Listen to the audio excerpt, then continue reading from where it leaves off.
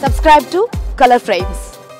Bharat Zimbabwe జట్ల మధ్య Harare వేదికగా శనివారం రెండో వన్డే ప్రారంభమవగా ఈ మ్యాచ్లో టాస్ గెలిచిన టీమిండియా తాత్కాలిక సారథి కేఎల్ రాహుల్ బౌలింగ్ ఎంచుకున్నాడు. అయితే ఈ మ్యాచ్లో టీమిండియా తుది జట్టులో ఒక మార్పు చేసినట్లు కేఎల్ రాహుల్ వెల్లడించాడు.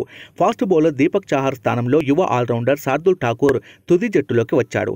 అయితే దీపక్ చాహార్ స్థానంలో శార్దుల్ ఠాకూర్ను తీసుకోవడానికి గల కారణాలను కేఎల్ రాహుల్ వెల్లడించలేదు. ఇక గాయం కారణంగా దీపక్ చాహార్ దాదాపు ఆరేళ్ళ పాటు జట్టుకు దూరమైన విషయం తెలిసిందే. ఈ క్రమంలో ఫిట్నెస్ సాధించిన అతడు జింబాంబే సిరీస్కు ఎంపికయ్యాడు. ఇందులో భాగంగా హరారే వేదికగా జరిగిన మొదటి వన్డేలో ఆడిన దీపక్ చాహార్ ఏడు ఓవర్ల బౌలింగ్లో ఇరవై ఏడు పరుగులు మాత్రమే ఇచ్చి మూడు వికెట్లు పడగొట్టాడు. దీంతో ప్లేయర్ ఆఫ్ ది మ్యాచ్గా నిలిచాడు చాహార్.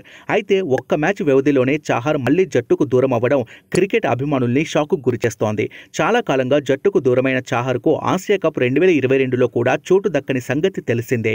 ఈ అంశంపై దీపక్ చాహార్ స్పందిస్తూ ఆసక్తికర వ్యాఖ్యలు చేశాడు.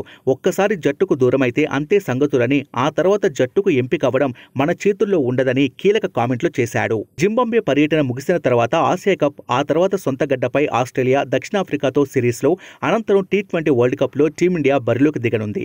ఈ క్రమంలో జట్టులో చోటు కోసం కష్టపడటం మాత్రమే తన చేతుల్లో ఉందని ఎంపిక అవుతానా లేదా అనేది తన పరిధిలో లేదని చాహర్ అన్నాడు. అలాగే జింబాంబేతో మొదటి వన్డేలో ఏడు ఓవర్ల పాటు బౌలింగ్ చేయడం కీలక వికెట్లు పడగొట్టడం ఆనందంగా ఉందని పేర్కొన్నాడు.